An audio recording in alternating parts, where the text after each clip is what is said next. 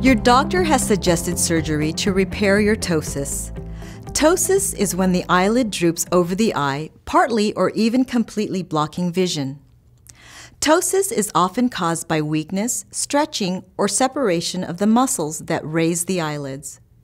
In some cases, ptosis is caused by damage to the nerves that control those muscles. Ptosis affects both vision and appearance. Having droopy eyelids can make someone look tired and older than they are.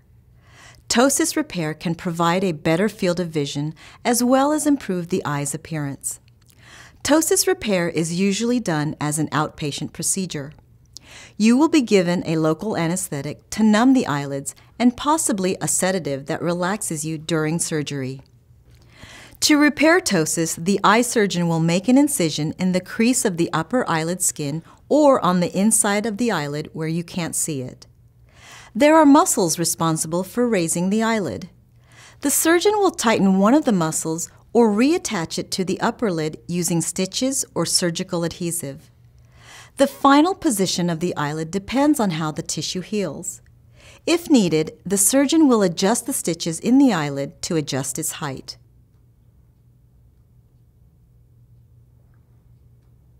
Your eyelid may still droop after surgery. It can take a few weeks for your eyelid to reach its final position. Your ophthalmologist will check your eyelid position during healing. He or she will be able to tell if you may need another procedure to adjust eyelid height.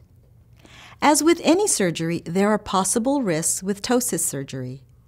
Ptosis surgery risks can include unusual bruising or swelling after surgery, severe dry eye, bleeding from the incisions, infection, pain, sensitivity to sun or bright light, difficulty closing the eyes, scarring, need for adjustment or additional surgery, change in vision, either temporary or permanent, possible blindness, and problems from anesthesia.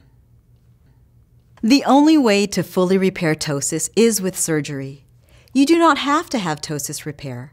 However, a significantly droopy eyelid that blocks vision can lead to poor eyesight in one or both eyes.